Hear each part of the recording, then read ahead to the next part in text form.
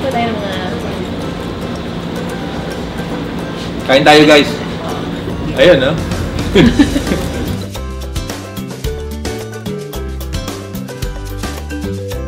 So what's keeping you busy these days?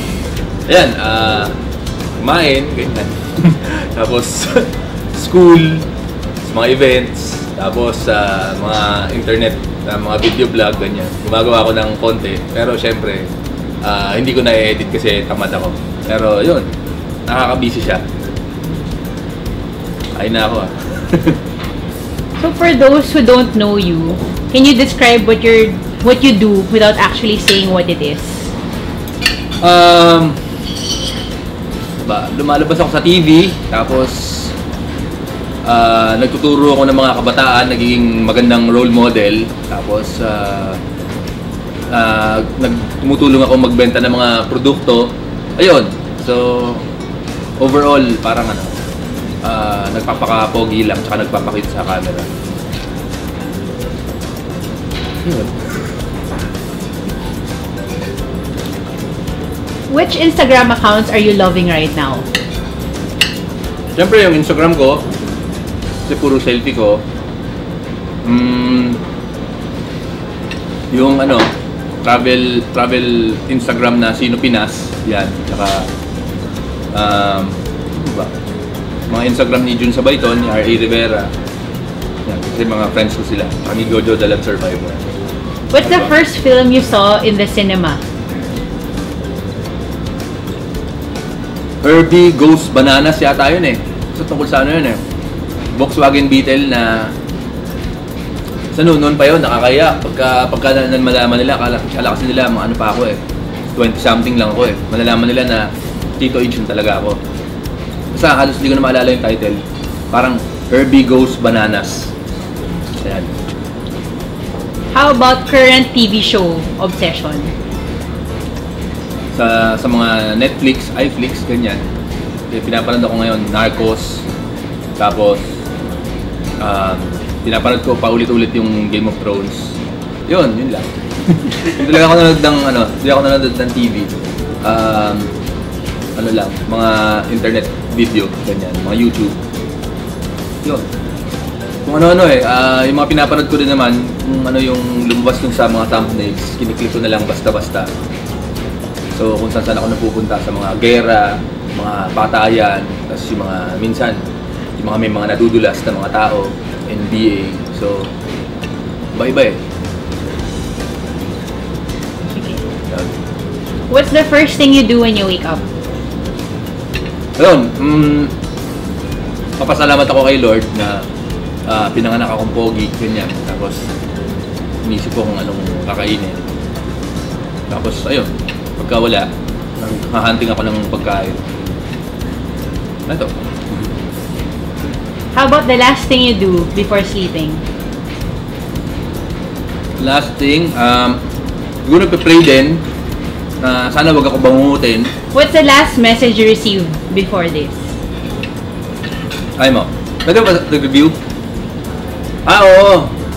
Sabi ni Al, ano, meron daw akong 2 o'clock. Last message you sent before this? Ah, nag-reply ako sa kanya, okay. How about what's your go-to karaoke song? Go to karaoke song, mga songs ni ano, Gary Valenciano. Yan, yung mga Wag Mo Na Sana, Take Me Out of the Dark, Paano, tapos, sa mga ano, relig- religious songs ni Gary V. Can you sing it?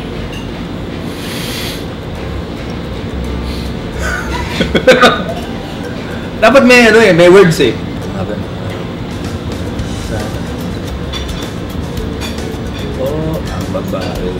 nakakatuwa. Maliit na bagay lamang pinalalaki pa.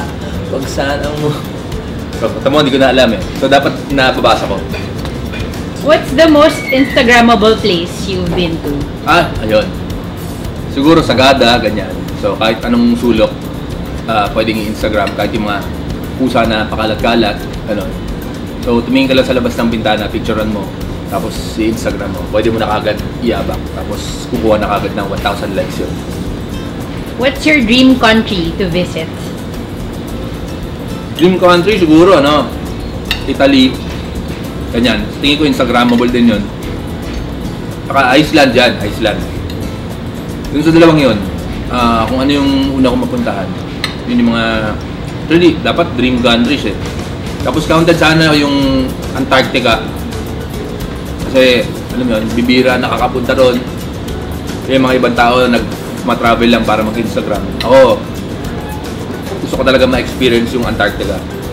Kasi kung gaano kalamig yon may mga penguins, makakita ng mga whale. Tsaka sana hindi ako mamatay sa lamig doon. What are the three things you can't leave home without? Hmm, extra extra brief, extra t-shirt, tsaka extra toothbrush. Kasi baka biglang ano eh, bigla akong pumunta sa Sagada kasi minsan ginagawa namin yun. Yung mga bigla-bigla ang trip sa ganyan. So pagka wala kang dala, pwede ka naman bumili. Kung may extra money ka, actually na lang pala. Kaysa three things, one thing na lang. Extra money. Ayan. If you could switch lives with someone for a day, who would it be? Ayun, siguro kay ano, kay Michael Jackson. Para alam ko yung energy na meron siya, yung confidence, tsaka yung talent talaga. Yun lang, ah, medyo ano na siya, dead na siya, kaya si ano na lang, Lebron James na lang. Have you ever Googled yourself? Siyempre, everyday. Oo, alam mo naman tayo, self-centered, tsaka low self-esteem. Tinitignan ko yung feedback ng mga mga tao. Tapos ayun, ah, tinigil ko na kasi puro, well, pare-pareho lang na babasa ko na wapong-wapo ko sa sarili ko. Last five artists you listen to on Spotify. Razorheads, Paroken Edgar, Eddie Buendia, Rico Blanco, tsaka Kichi Nadal. Yan yung mga nasa ano ko eh, sa traffic playlist ko. What's your preferred travel camera? Siyempre, Fujifilm X-T20. Ayan. Napakaganda ng kulay niyan. Tapos napakadaling gamitin. Tapos ano, ah, yung mga lens sobrang sharp. Grabe tunugan na tawag. Parang ina-endorse ko. Pero yun nga. Brand ambassador talaga ako doon. What's one thing people don't know about you? Na ano ko, na um, mahihain ako. Yan. Kasi nahihiya ako maging mahihain. Kaya hindi ko pinapakita. What's the most adventurous thing you've done in your life? Um, adventurous. Siguro yung ano, tumalon ako ng 60 feet papunta dun sa may parang ano, na, na nasa cave na river sa may 100 islands. Ayun. So na peer pressure lang ako. Tapos hindi ko nagagawin yun. Exciting naman sa ibang tao, pero ako masyado ng maraming ah, risk sa mundo para ilagay ko ang sarili ko sa mga unnecessary na mga mga ganung bagay. What's your favorite body part? Body part? Ah, siguro ilong. Kasi ano, parang kung walang ilong, hindi tayo makakahinga tapos mamamatay tayo. Ayan. Medyo ano, ay ayoko kasi magsabi ng favorite body part kasi baka magtampo yung mga heart, yung mga lungs, yung liver. Tapos hindi, hindi sila gumana, bigla akong madeds. So, all of the above na lang. How do you de-stress?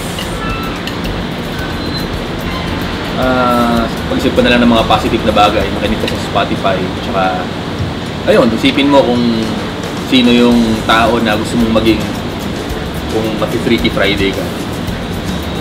What's the best gift you've received? Best gift? Yung folding bike ko, yan. Yan ang best gift na, na na-receive ko. Um, kasi, tagal ko nang gusto magkaroon ng bike. Tapos, pag napagod ako, pwede isakay sa kotse. Tapos, ayun. Kaya okay siya. Tapos, hindi ko kailangan bumili. Kasi niregalo lang. So, the best yun. How about the best gift you've given? Nako, yan ang hindi ko alam. Anong, kasi sa baka sabihin, yabang ko na yun ang binigay ko. You know? Um, siguro yung mga niligift ko nung Pasko na mga niregalo rin sa akin. Halimbawa yung mga yung mga mug, yung mga t-shirt, ganyan na hindi ko naman susutin kasi hindi kasya sa akin. Dahil hindi ko naman magagamit, uh, niregift ko. So hindi na ako bumili, nakapagpasaya pa ako ng mga tao. So best yung mga bagay na gano'n. Who's your ultimate girl crush? Ako syempre yung ano, may-ari ng Steak to One. Kasi nanonood, sunin ako niyan eh. Uh, kung hindi siya, si ano, si, si Emily Van Camp, yun. Na papanood ko sa series, di ko alam kung ano yung storya, pero pinapanood ko, nagagandaan lang ako sa kanya. Yun. Tsaka si Maria Ozawa, kasi magkatay. What's the best concert you've been to? Yun, Backstreet Boys. Grabe. Sobrang saya ng Backstreet Boys. Um, naalala ko yung kabataan ko. Tsaka nung kamukha ko pa si Nick Carter. If you could make a documentary, what would it be about? Um, ayan, tungkol sa pagta-travel, tungkol sa pagkain, tapos sa storytelling ng mga buhay ng mga tao, ganon. So, ayun, uh, ma malalaman ko yung kinakain nila, malalaman ko rin yung kultura nila, tsaka kung ano yung meron doon sa lugar, kung bakit yun yung food nila, tsaka bakit sila ganon. Yun. Tsaka siguro, ano, tungkol sa buhay ni Jose Rizal, na kung ano yung untold stories niya, ganyan, kung babayero ba talaga siya, yung mga girlfriend niya, naging sila ba talaga, or feeling lang niya, ganon. Para malaman natin kung siya siyang totoong ano, busy, mukhabi, ganon. What's one thing you can never eat? Ayun, taba. Ako naka... Uh, yung mga, ano, yung mga taba ng baboy na gano'n. Except lang pagka, ano, pagka nasa lechon, uh, yung mga taba kasi feeling ko babara sa puso ko tapos pinakamatay ko. Pero pag nasa lechon, tatandaan ko na lang na pagka inatake ako, ah, okay, lechon yun. Sulit na rin. If you had a superpower, what would it be? Ah, uh, siguro time travel, ganyan. Para mabalikan ko yung ano, pag nagkamali ako, pwede akong bumalik. O kaya pagka masasagasaan ako, pwede kong ibalik dun sa 2 minutes bago ako masagasaan para ma-prevent ko. Ayun, so... What's the last movie that made you cry? Parang wala akong... Parang hindi ako umiiyak sa... Ah, ano? Cars. Kasi yung ano, yung moment na bumalik yung... Bumalik yung mga friends niya bigla siyang sinuportahan, gano'n. Ayun, naiyak ako doon. Kasi siguro yung scoring nadala ko. What's the first app you open in the morning? Ah... Uh, depende kung ano yung unang nakabukas the night before eh. So kadalasan dyan, Facebook, o kaya Twitter, ganun. Ayun, uh, Twitter, tignan ko ano yung mga balita na nagaganap, kung bumabagyo na ba, or bumabagsak na ba yung ekonomiya ng Pilipinas, ganyan. O kaya kung may mga uh, may mention, ganun. Siguro yung Facebook, kung ano yung uh, lumalabas sa mga feed ng mga friends ko. Yeah. What's the best advice your parents ever gave you? Uh, bahala ka sa buhay mo. Dati kala ko wala silang pake, sinabi lang nila yun, bahala ka sa buhay mo. Pero yun nga, okay din kasi marami palang mga kabataan ngayon na masyadong dinidiktahan ng magulang nila na parang nakakahon sila. Pero yung magulang ko, bukod sa wala silang pakisiguro, hinayaan nila ako. So, na-explore ko yung sarili kong mundo. Tapos, nagawa ko ano yung trip kong gawin. At the same time, nagkamali ka. So, ikaw na ang bahalang mag-correct or matuto sa kamalian mo. Okay, last question. What's one thing you don't know but want to learn? Um, marami. Uh, albawa, anong pakiramdam ng nasa South Pole, ganyan sa outer space. Tapos siguro yung uh, mga sikreto ni Jack Ma kung paano siya yumama.